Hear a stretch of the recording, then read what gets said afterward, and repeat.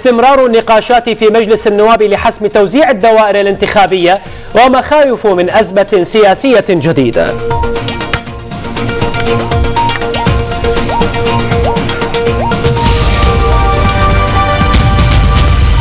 وزير الخارجية اليوناني في بغداد مباحثات ثنائية بهدف تعزيز التعاون والشراكة في جميع المجالات.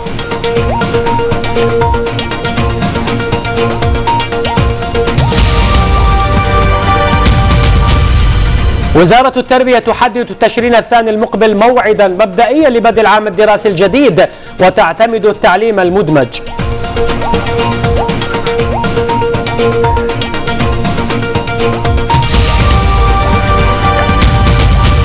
اتفاق على عقد جولة مفاوضات ثانية بين لبنان وإسرائيل لترسيم الحدود البحرية برعاية أممية وحضور أمريكي. أهلا بكم سادتي إلى تفاصيل هذه النشرة حيث من المنتظر أن يستأنف مجلس النواب اليوم جلسته الحادية عشرة لاستكمال قانون الانتخابات بصيغته النهائية. مصادر نيابية ذكرت للإخبارية أن الاجتماعات المشتركة لممثلي الكتل ورئاسة البرلمان من اللجنة القانونية تعقد يوميا من أجل التوصل إلى حلول نهائية بشأن توزيع الدوائر الانتخابية.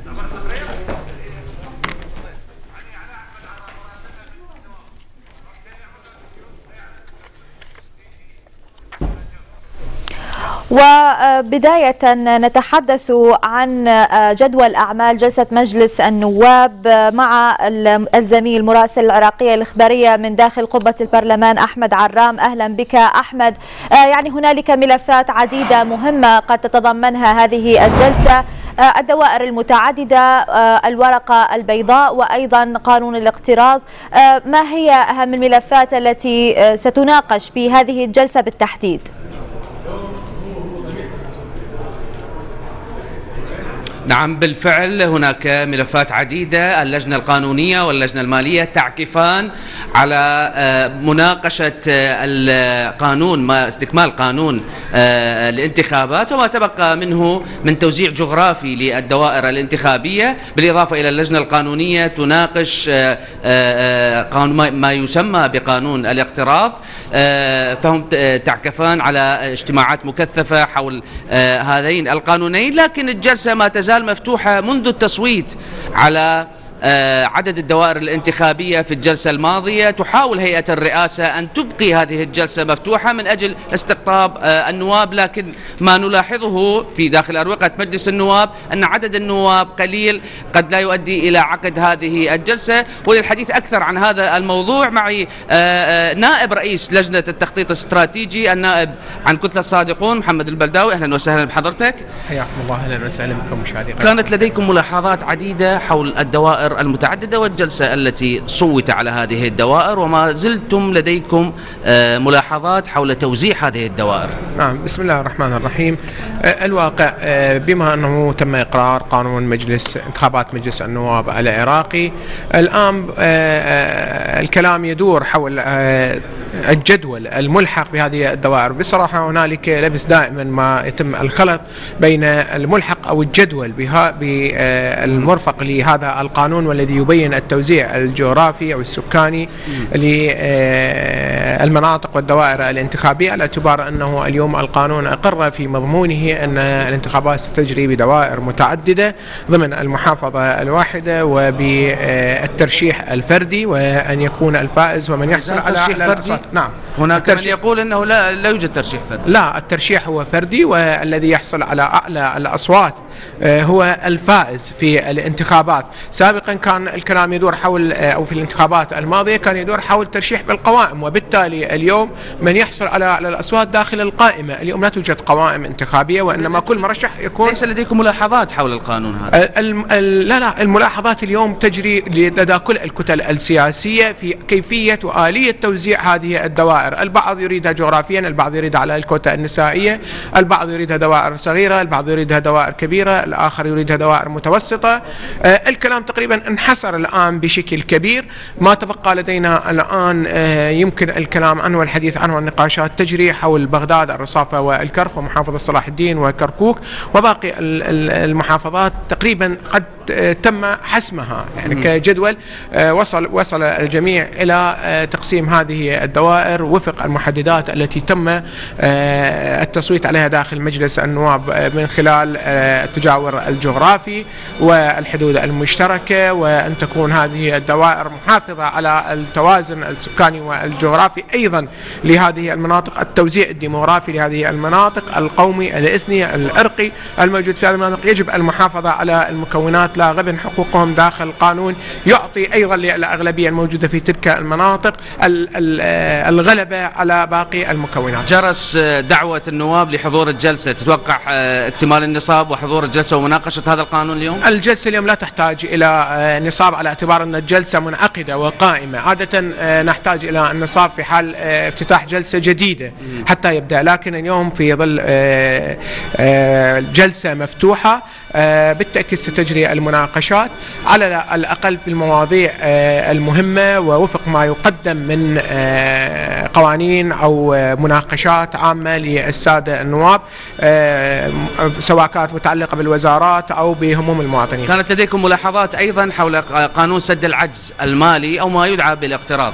ما هي أبرز هذه الملاحظات؟ الملاحظات اليوم القانون جاء مبهما. لم يبين آلية صرف المبالغ السابقة حتى نتكلم عن مبالغ جديدة للاقتراض، هذا المورد الأول، المورد الثاني هنالك مبالغة كبيرة في قيمة الاقتراض المطلوب على اعتبار أن ما تبقى من السنة لا سيما أن الحكومة قد أقرت بأنفسها انها اليوم استقرضت لثلاثة أشهر الماضية وانها قامت بالتكفل بتسديد كافة الكلف لحد 17 9 وبالتالي اليوم ما تبقى من السنة لا يحتاج إلى 48 تريليون. بالمحصلة أيضا هنالك إيرادات لم تذكرها الحكومة حتى تخرجها من هذه القيمة. مثل هاي الإيرادات. الإيرادات سواء كانت النفطية والإيرادات غير النفطية الواردات التي تأتي من الوزارات وأيضا من الضرائب ومن الجباية وغيرها. كل هذه المبالغ انحصرت بتقرير قدمته الأخت النائبة الدكتورة أنعام الخزائي إلى اللجنة وأعلنت عنه بشكل واضح وصريح أن قد ما نحتاجه هو لا يزيد عن 8 إلى 12 تريليون في أكثر قيمة يمكن أن تصل إلى هذه المبالغ لكن ما قد طلبت به الحكومة هو 48 تريليون. نحتاج إلى توضيح نحتاج إلى أرقام حقيقية تشرح حاجة البلد من الاقتراض لأننا بالتالي نقترض بفوائد وهذه الفوائد تكبل الدولة العراقية. ولا يمكن أن نرهن الدولة العراقية ونرهن موارد العراق بأيدي أجنبية مقابل أن تسعى الحكومة إلى الاستمرار بالاقتراض. لكن وزير المالية ذكر أنه بحاجة إلى أموال في السنة المقبلة بالقليل 10 تريليون. يعني أنا من أدخل في سنة جديدة بحاجة إلى أموال حتى أبدأ هذه السنة.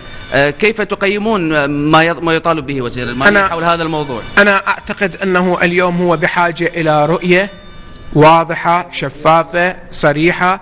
نحتاج إلى برنامج حكومي فيه برامج وأهداف تبين الحاجة الحقيقية لهذه الموارد، نحتاج كان من المفترض بمعالي الوزير والسادة الوزراء ورئاسة الحكومة أن تسعى إلى وضع موازنة لسنة 2021 تقدم إلى الحكومة وهو قدم ورق وهو قدم ورقة بيضاء. الورق الورقة البيضاء تقريبا إلى أكثر من نصف هذه الورقة. هي أمور سردية تشرح حالة. أنا أقول أنهم منذ اليوم توليها الحكومة إلى هذه الساعة. ما هي البرامج والأهداف؟ استضفنا في لجنة مراقبة تنفيذ البرنامج الحكومي التخطيط الاستراتيجي مجموعة نعم من السادة أحمد. الوزراء حضروا وبشكل واضح وصريح بعضهم أشار أنه لا توجد سياسة واضحة حتى يمكن أن نعد على اساسها برامج ومشاريع، وبالتالي لا يمكن قيادة الدولة باليوم. الحكومة حكومة ليست حكومة تصريف أعمال حتى تجري بهذا الشكل، نحتاج إلى أن تضع الحكومة رؤيتها وأن تضع نعم. برامجها وأهدافها وأن تقدم موازنة حتى يمكن على أساسها تقييم الوضع المالي للدولة. شكرا جزيلا. شكرا. لحضرتك نعم. إذا هناك العديد من الملاحظات هناك العديد من النقاشات سواء داخل اللجنة القانونية أو داخل اللجنة المالية. يعني أشكرك شكر جزيل أحمد عرام آه، مراسل العراقية الإخبارية من داخل مجلس النواب وأيضا نشكر ضيفك الكريم آه، سيادة النائب.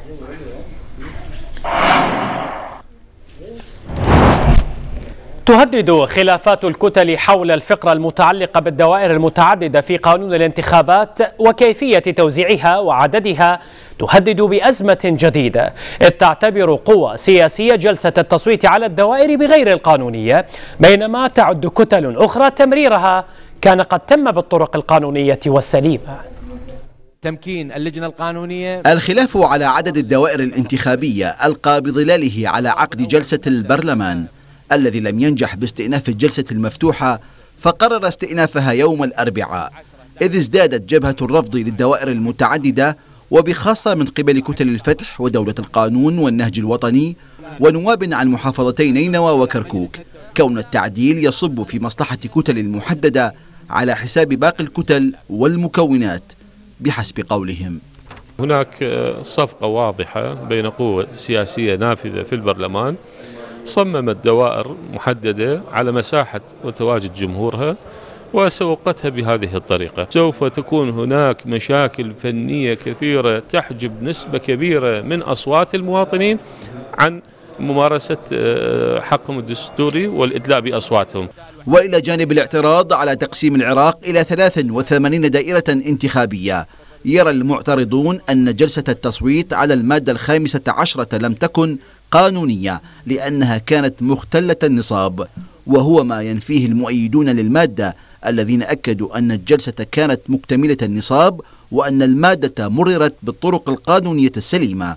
التصويت حصل بالإجماع والحضور كان حضور أكثر من 186 نائب وهذا ما آه، ثبت من خلال عرض ال في الفضائيات والحقيقة الكل آه، اعتقد متفق بين الجلسة قانونية الاعتراض فقط في وسائل الإعلام لا أكثر. وبعد إقرار الدوائر الانتخابية تتبقى قضية تحديد الرقعة الجغرافية لكل دائرة انتخابية كي يتم تمرير المادة بمجملها إلا أن بعض النواب توقعوا مزيدا من الخلافات السياسية في حال دمج الأقضية أو النواحي ببعضها البعض لاستكمال الدوائر التي يقل فيها عدد الناخبين عن العدد المطلوب. خلاف برلماني عميق بشأن الدوائر الانتخابية. قد يتسبب بتعطيل تمرير المادة الخامسة عشر والقانون بشكل عام وهو ما سينسحب على الاستعدادات اللوجستية لمفوضية الانتخابات لإجراء الانتخابات المبكرة. من بغداد محمد جبار العراقية الإخبارية.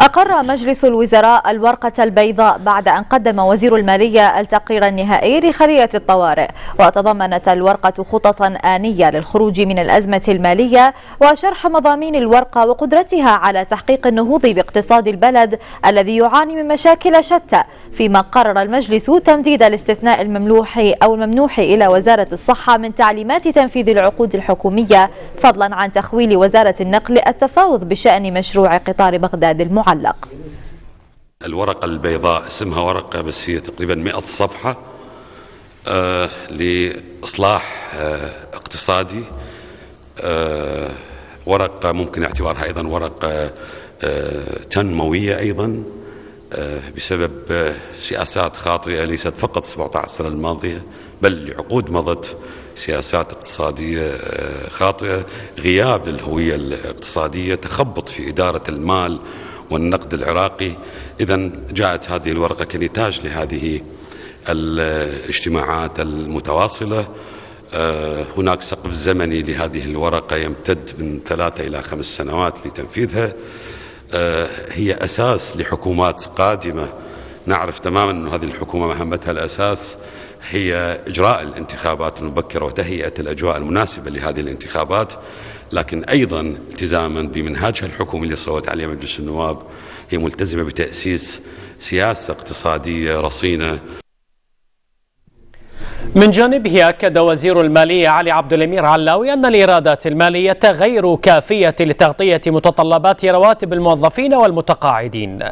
علاوي وخلال المؤتمر الصحفي الأسبوعي الذي أعقب جلسة مجلس الوزراء أشار إلى أن البلاد ستبقى في جو من الضيق المالي حتى تعديل الهيكلية الاقتصادية وتنويع إيرادات الدولة.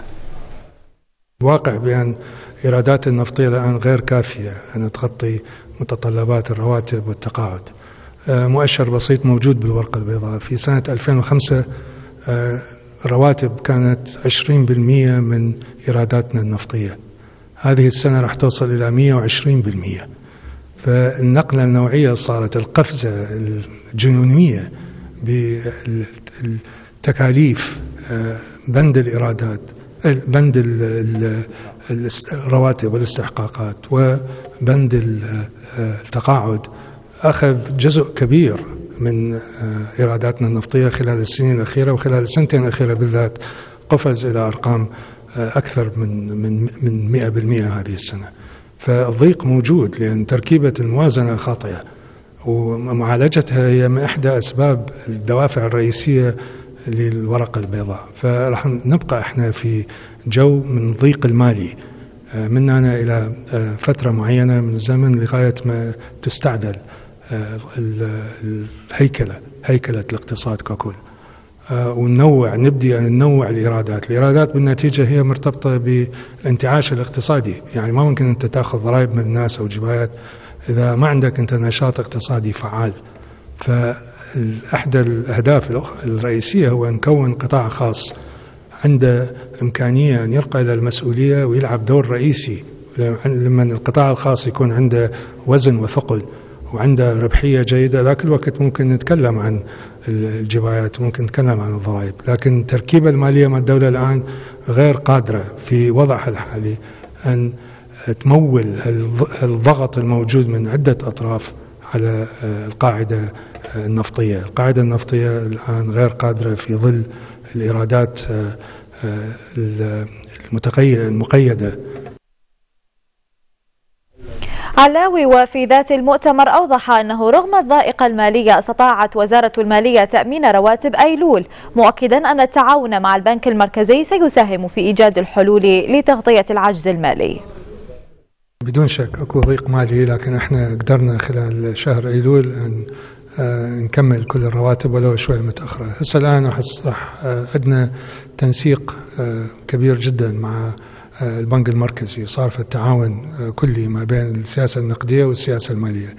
فأنا أتوقع خلال هذا التعاون بأن نلقي سبل أكيدة لغرض أن نغطي العجز العجز المالي. طبعا أيضا عندنا مشروع ماليه الدولة الآن معروض أمام مجلس النواب. إن شاء الله يقر وإذا يقر أعتقد من هنا لاخر السنة ممكن إحنا نتجاوز كل آه، تداعيات الضيق المالي لكن أيضا عندنا إحنا مثل ما قلت آه، علاقة متينة وقوية مع البنك المركزي لغرض نوحد السياسات النقدية والمالية وهذا راح توفر لنا الإمكانية أن نغطي إن شاء الله كل متطلبات وكل استحقاقات آه، الرواتب والتقاعد.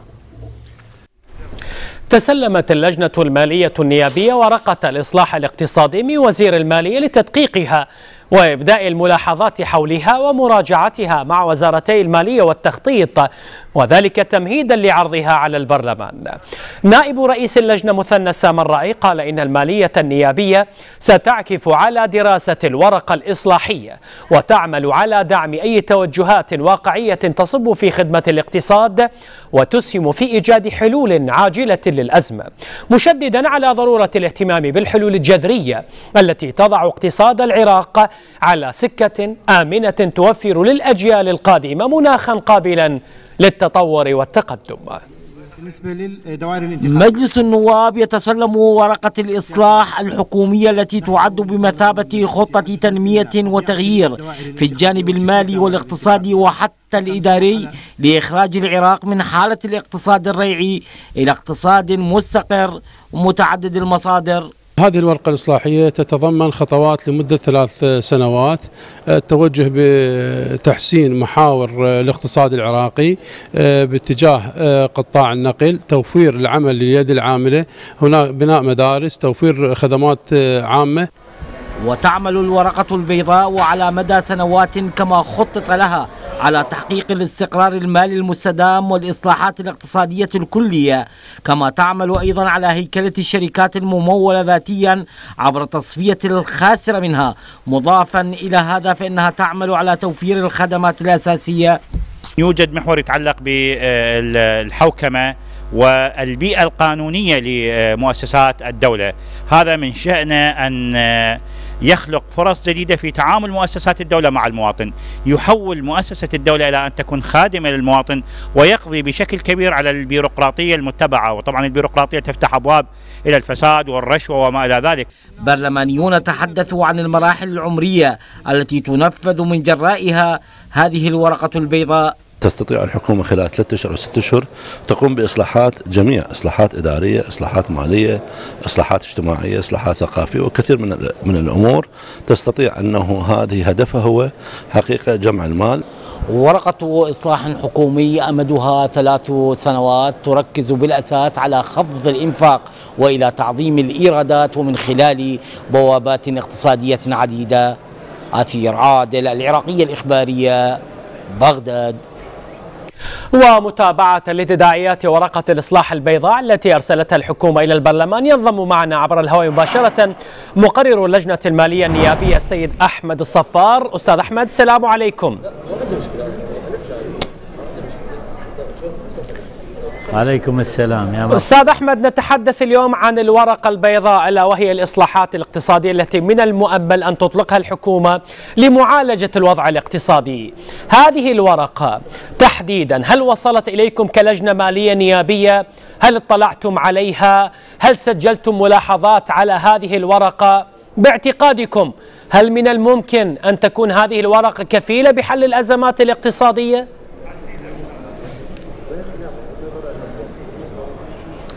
نعم سيدي تحية لك وللمشاهدين الكرام. آه، في الواقع يوم أمس كان للجنة المالية اجتماع آه، مطول مع معالي وزير المالية والخبراء اللي آه، عملوا على إعداد هذا التقرير. واستلمنا من معالي الوزير ورقة الإصلاحات المالية والإقتصادية وهي آه، للمرحلة الأولى سميت بالورقة البيضاء.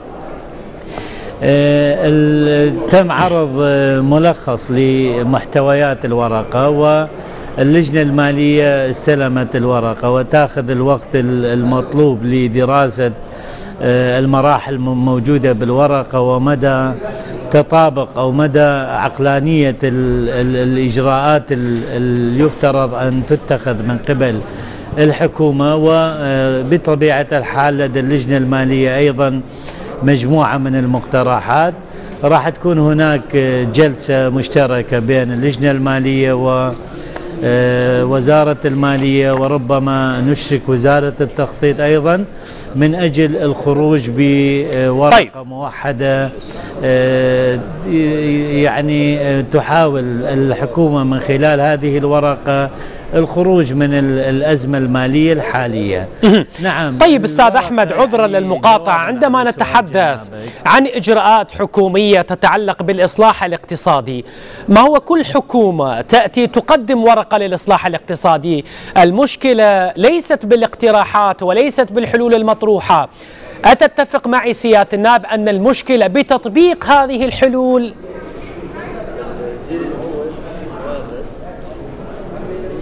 هو في الواقع كل كل حكومة تأتي تقدم آه، المنهاج الوزاري والبرنامج السنوي ولكن للأسف آه، ما يتم إطلاقه تبقى على الورق فقط. ولكن آه، هذه الورقة تختلف في الحقيقة لأنه اولا الورقه كان شرط من شروط الموافقة على قانون الاقتراض الأولي في الشهر السادس وحتى المشروع المقدم حاليا الذي وصل للجنة المالية حول قانون تمويل العجز المالي. أيضا كان الشرط الأساسي هو إجراء إصلاحات. بالتالي إن لم تجرى هذه الإصلاحات وإن لم يتم تطبيق الورقة على أرض الواقع فإن الاقتصاد العراقي والوضع المالي ذاهب إلى المجهول طيب. حتما. ولكن أنا أتكلم لك عن رأيي ومن خلال اطلاعي على الورقة. هي ورقة يعني تشمل قراءة جيدة للوضع المالي والأسباب التي أدت إلى آه، أنه يواجه العراق آه، هذه الأزمات. وبالتالي المراحل الموجودة فيها مراحل معقولة يعني تبدأ طيب. بمرحلة مهمة هي مرحلة التثبيت أو الاستقرار من خلال إجراء آه، إصلاحات في الجانب الخاص بالإيرادات العامة وكذلك النفقات العامة طيب. وإصلاحات في إدارة نعم. المال العام. هذه النقطة مهمة جدا لأنه نحن على قناعة أنه هناك موارد موجودة في في البلد طيب. ولكن سوء إدارة سوء إدارة هذه الموارد ما يتفق عليه الكل. في هذه الضائقة. سيد أحمد الصفار مقرر اللجنة المالية النيابية أشكرك شكرا جزيلا على هذه المعلومات وأعتذر منك ضيق الوقت. وزير الخارجية اليوناني في بغداد مباحثات ثنائية بهدف تعزيز التعاون والشراكة في جميع المجالات.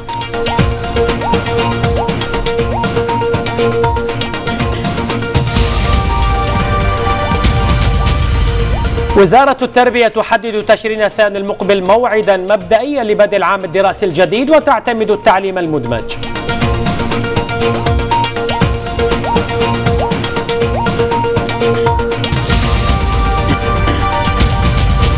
اتفاق على عقد جولة مفاوضات ثانية بين لبنان وإسرائيل لترسيم الحدود البحرية برعاية أممية وحضور أمريكي.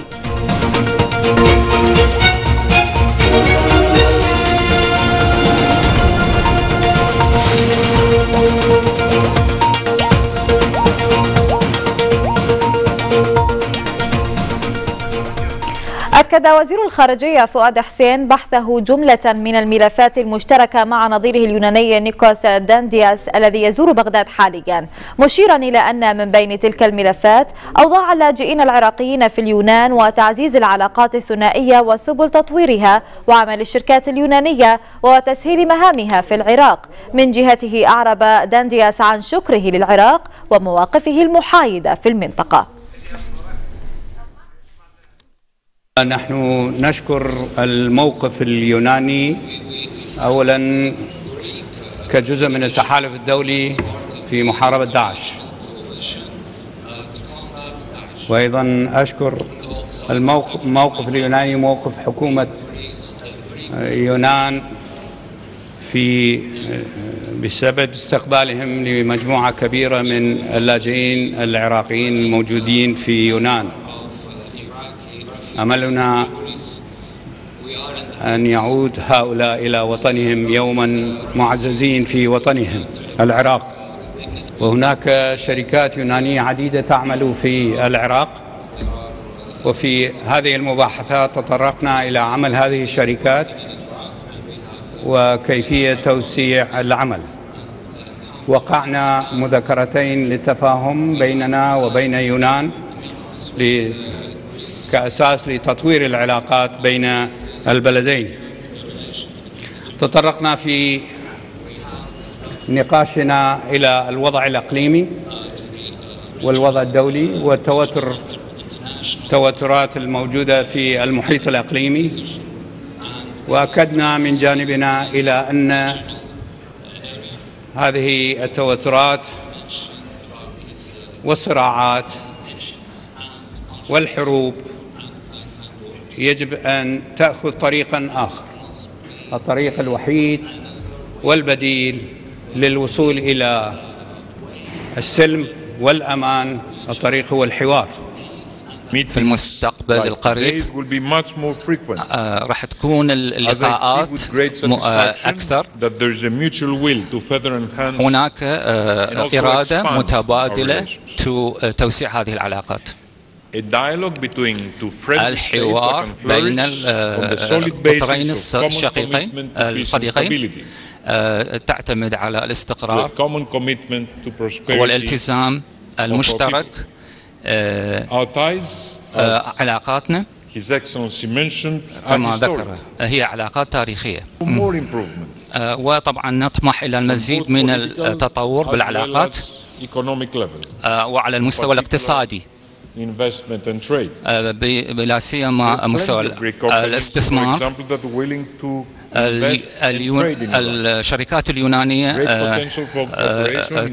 نعم تريد الاستثمار في العراق بالنسبة لإعادة الإعمار الطاقة uh, uh, بالنسبة للأمور الطبية.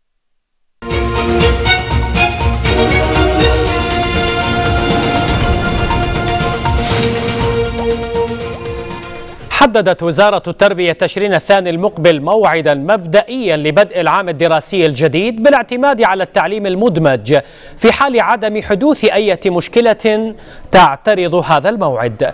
وقال وكيل الوزارة للشؤون الإدارية الدكتور فلاح القيسي لجريدة الصباح إنه سيتم التوجيه اعتمادا على المنصات الإلكترونية إلى جانب الفضائية التربوية.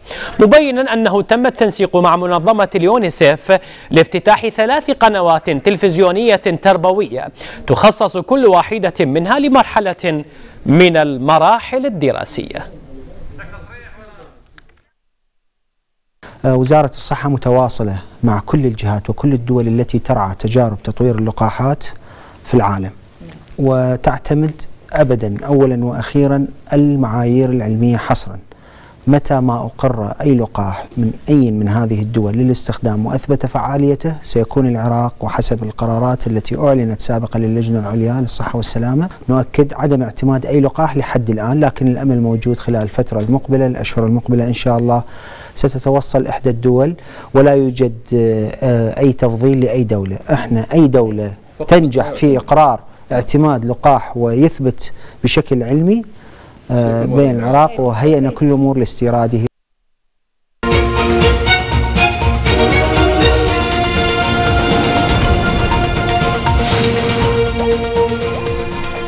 وفي الشأن الدولي وزير خارجية لبنان في حكومة تصريف الأعمال شرب الوهبة شدد على أن بلاده لا تعقد اتفاقا. لتعترف بإسرائيل بل تفوضها على ترسيم الحدود البحرية. وهبة قال إن الأمم المتحدة ستستضيف المفاوضات وتدون المحاضر أو المحاضر مع الولايات المتحدة مؤكدا أن لبنان لن يقوم بالتطبيع ولن يوافق على اتفاقات سلام.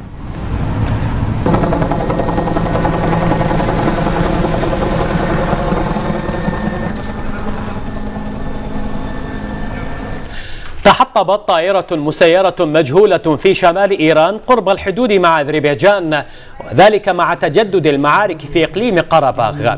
وبحسب مصادر إيرانية فإن طائرة من دون طيار سقطت في أراض زراعية قرب مدينة بارس آباد مغان في محافظة أردبيل مشيرة إلى أن الطائرة ربما تكون تابعة للجيش الأذري أو الأرمني.